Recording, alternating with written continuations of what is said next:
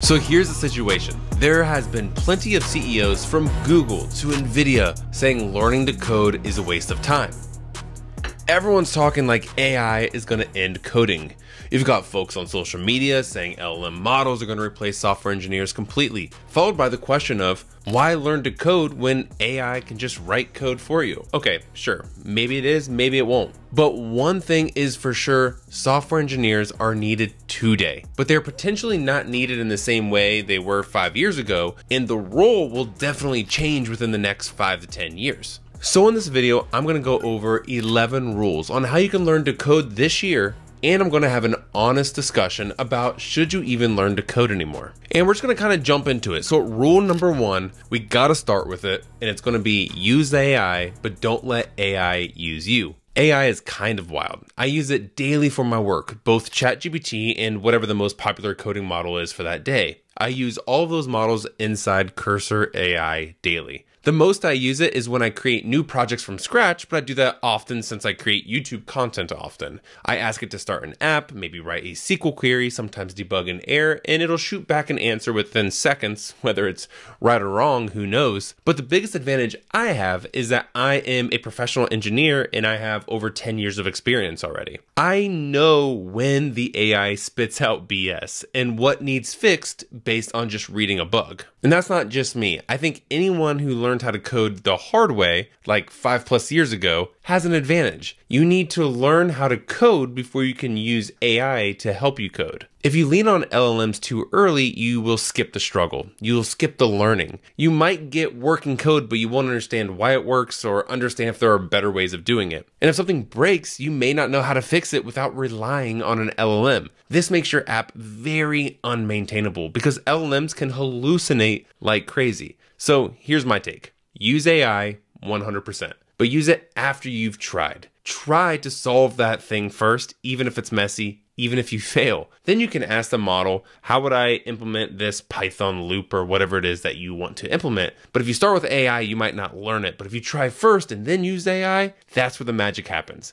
Now you've got two solutions you can compare, refactor, learn. So use AI as a force multiplier, not a crutch. You're Batman, AI's Robin.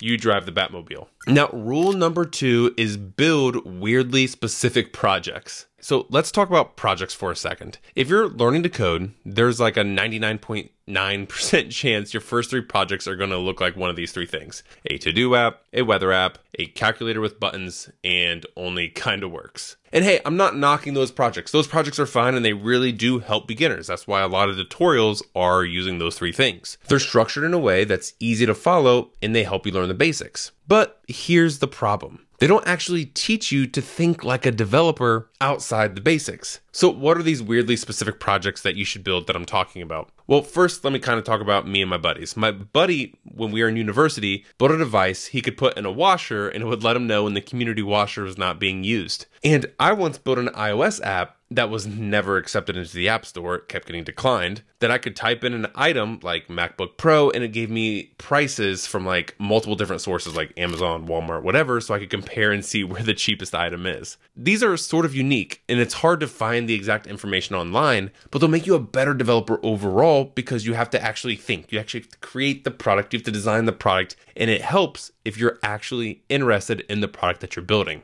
Rule number three is to learn in public. You don't need to be an expert to post online. I do YouTube, I do LinkedIn. Those are my top two platforms. Creating and learning in public is magic. I promise you, it's scary as hell at first, but it ends up being really cool. A lot of my posts and YouTube content, I have to learn those subjects first. I have to literally learn it before I can create content on it. And some of the best content I see online comes from people who are just starting out and are wanting to share their life as they figure it out. It's really cool and it kind of shows their progress and their growth through, you know, the public eyes and public items. And you might think, why would anyone care that I might have just learned Python decorators? But to someone who is just a step behind you, that's gold. There's multiple times where I create a video or a post thinking it's going to flop or that it's stupid, and then become some of my best items, like not even joking. And what helps and, and why it's so interesting is you're documenting, you're reflecting, you're helping others, and you're building up a, a portfolio without even trying. That is why I'm here. That is why I'm on LinkedIn. It's because visibility compounds and people don't hire or trust mystery devs. Rule number four is that tools are temporary, thinking is forever. So, tech stacks change constantly, the fundamentals do not. How you break down problems does not change. How you structure your business logic does not change. How you decide and discuss performance and security within an application does not change. That's what separates real engineers from people who watch tutorials all the time or vibe coders is they know how to build applications. Frameworks are great. They really are and it allows us to create products quicker than we've ever have before. But they're just layers on top of the fundamentals. So go deep on core skills like learn deep Python, then FastAPI will make more sense. Learn how the web works and then all of a sudden HTTP will make more sense. when you understand the why, you can learn any what. Now, rule number five is you need more consistency, not more motivation. Motivation is unreliable. It's great on Sundays when you binge watch tutorials and you're saying, hey, I'm gonna be a software engineer tonight. But what about Tuesday after work when you're tired? That's where consistency comes in. And I truly, I truly believe consistency is what matters the most. Like for me, I didn't become a software engineer right after college. My first job was a business analyst who is someone who works in the middle of the software and the business side. So I kind of say to the software engineers what the business wants and I kind of translate it. When I was working as a business analyst though, I always knew I wanted to be a software engineer. So what did I do? I spent every single night learning how to become a developer. I learned how to be a software engineer, and I think that's what puts me in a unique situation on like YouTube and other platforms is I know how many of you feel. And the only thing that can get you where you want to go is consistency. You got to do it every day. Now, you don't have to do exactly what I did. Like at that time I had no family. Now I have a wife, I have a child, I have a kiddo on the way. There's no way I could put that amount of time into learning to code like I did before, but I know if I was learning how to code today even with all I would still be consistent with it, just maybe at a smaller degree. All right, so now rule number six is to track progress like an athlete. I was a college basketball player. My whole life before I graduated was about developing my basketball skills. How did I develop my basketball skills? One, I put in work, and two, I tracked my progress.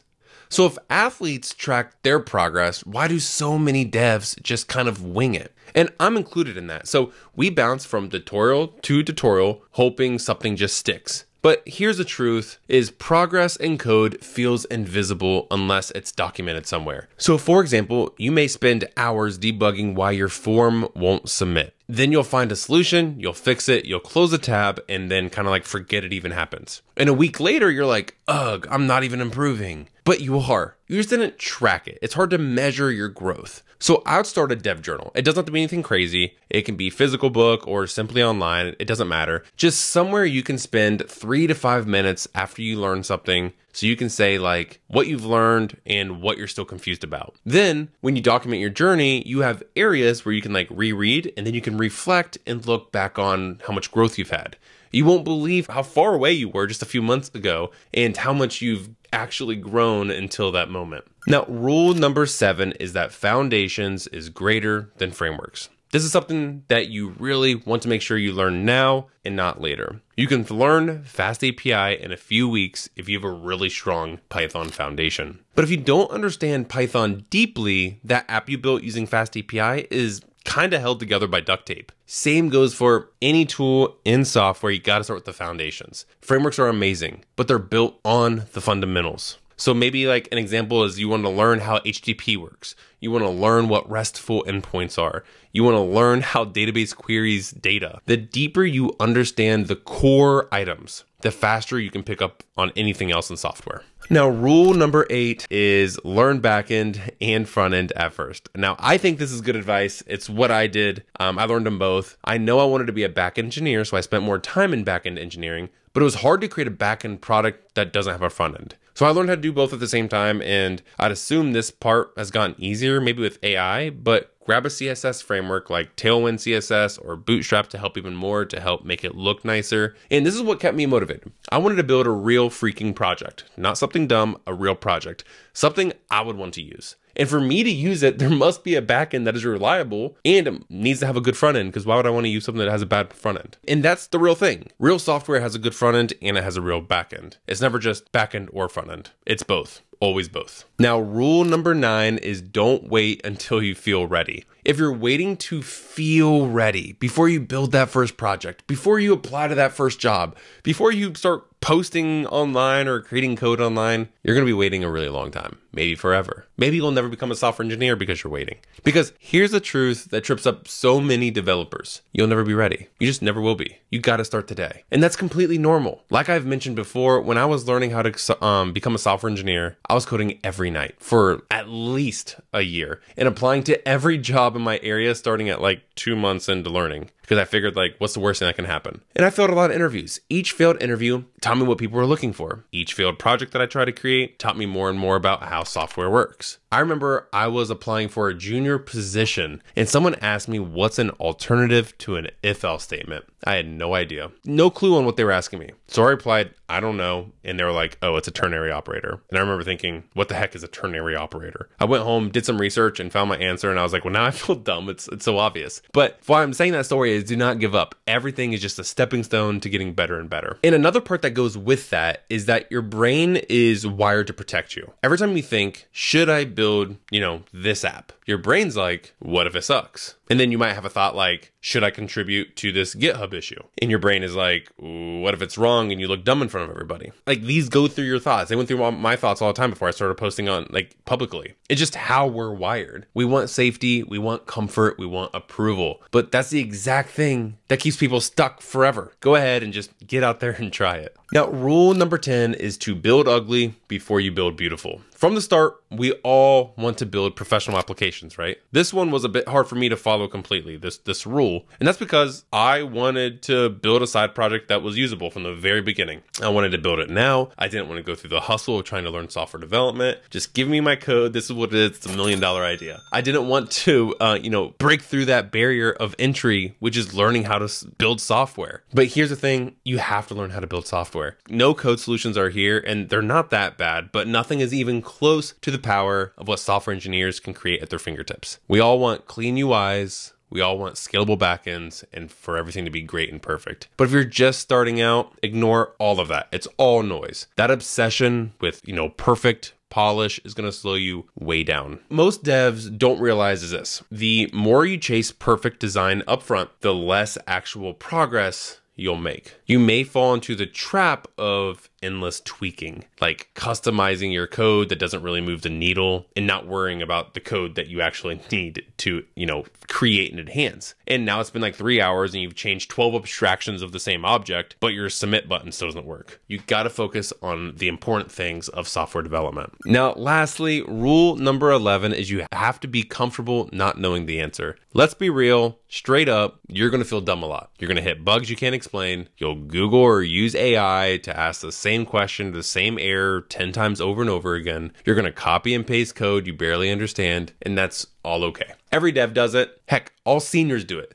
The difference is seniors don't panic. They don't pretend to know. They ask questions, they read documents, and they experiment and figure it out because they have experience. They, they've seen this before. You're not behind. You're just in the part of the process where growth happens. So just keep believing in yourself. The rules have changed. You know, the tools are different. The bar is higher. The noise is louder. So just go ahead, start today, start building, and I'll see you on the other side.